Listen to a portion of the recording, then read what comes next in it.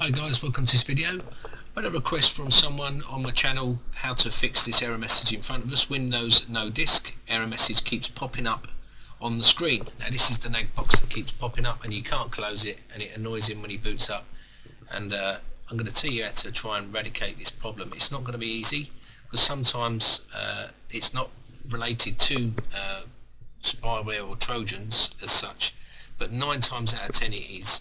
So the first thing I'm going to suggest you do really is scan your PC now I don't mean scan your PC with your you know antivirus that you've got on your PC you need to come to a website like so okay and do an online scan.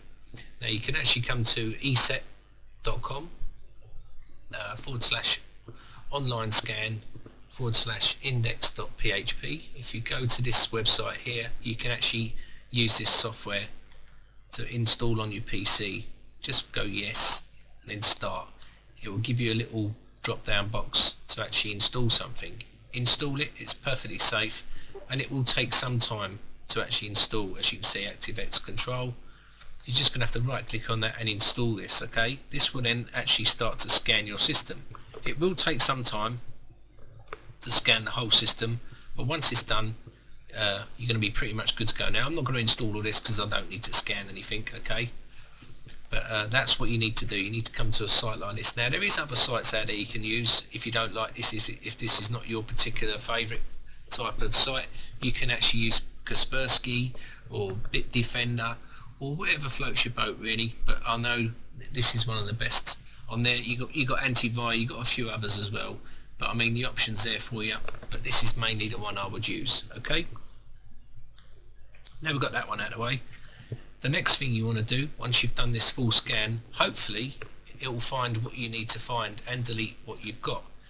And you should be back up and running. Now, if that's not the case and you've still got the problem, you need to go on to the next stage, which is using a program called ComboFix. Okay, now you mustn't download this from any other site other than bleepingcomputer.com or something like that. Okay, or I'll put it up on my site and it's safe to download from there okay? If you're gonna I'll show you what I mean. You just double click on this. Let it install. I can't show it on my desktop because my desktop 64-bit Windows XP and it doesn't seem to want to work on there. Okay you do not download it from these sites. These are not affiliated to the program at all. Combofix.org and uh, combofixdownload.com don't download it there. It's they'll charge you or it's moody don't do it okay? You need to come to this place here bleepingcomputer.com combo fix how to use combo fix okay? Or you can download it from my site. Anyway so you just say yes to this and let it come boot up. You'll get a blue screen like so. And it's preparing to run. Just let it do its thing okay. And all you need to do is just let it run. Now it's going to take some time to do this okay? So what it's going to say if it hasn't got a recovery console okay? So what you need to do you need to install it. Say yes. Say yes and then you start download. Now you may not need to do this bit okay? But if you need to do it then you need to do it okay? This is a virtual machine so it's not going to have it on there. So I'm going to let this do its thing let this download. I'm going to pause the screen at this stage. Okay once that's done you just need to let the scan carry on okay? Now you're going to see completed stage. Now this can be up to 50 stages and it will grow with time depending on how many uh, you know sort of parts they add to this program. So just what I would suggest is just leave it to do its thing okay? Now I'm going to pause the screen. I'm not going to sit there and let you watch all these okay? So just let it do its thing and uh, I'll see you back in a second. Okay so that's 50 stages done now. I think we should be nearly there and it will move on to the next stage now you're going to get a log once this is all finished. Okay? And normally you post these logs up into helpful forums and places like that. I just haven't got the time to do just decipher all those myself um, on YouTube. But I mean if I'm in the process of getting a forum set up so we'll go from there. So it's going to get a log which is what you could actually post on a forum to actually find out if there's any infection there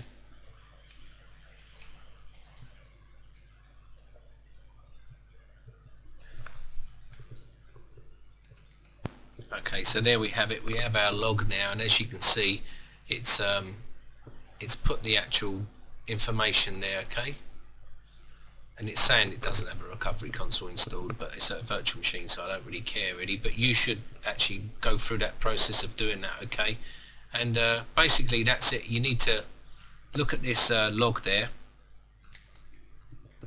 and check it out. And it will be located in your C root directory okay? It'll be here that's where it will locate the log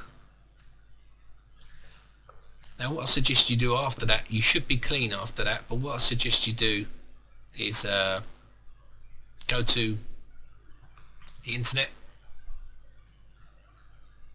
I can actually close this off now actually. Just go back to my normal machine now. And what you can do now is, as I said, you need to go to the internet next and get something like Malwarebytes. I'd give that um, I'd give that a go. Okay, so download Malwarebytes. Come to this website, malwarebytes.org. Download the free version, install that and run it. Okay, make sure that's all clean. Now once you've done that, if you're still getting the same problem, the next thing you want to be doing is coming to your desktop, right click on my computer, go manage. This will open up a box like so. You need to go to disk management. Okay. And once you're in disk management, let me just open this up for you a little bit so you can see. Once you're in disk management, you want to change the letters to these drives here, okay? And any external drives that you've got.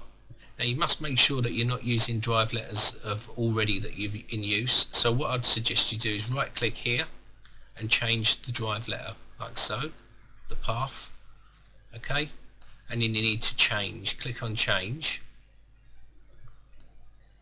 and assign a new letter okay like so and pick a letter that's not in use and apply an OK you do that not to the C drive don't do the C drive leave C drive as it is just do the other external drives that you've got or anything of that nature. Reboot the machine and see if that fixes your problem. Okay if that doesn't fix your problem you need to uninstall um, your floppy drive or something of that nature. If you've got a floppy drive you come to right click on my computer go properties hardware device manager and you'll need to look inside here for your floppy okay and you can actually uninstall that alright uninstall that and then hopefully that should be the end of your problem.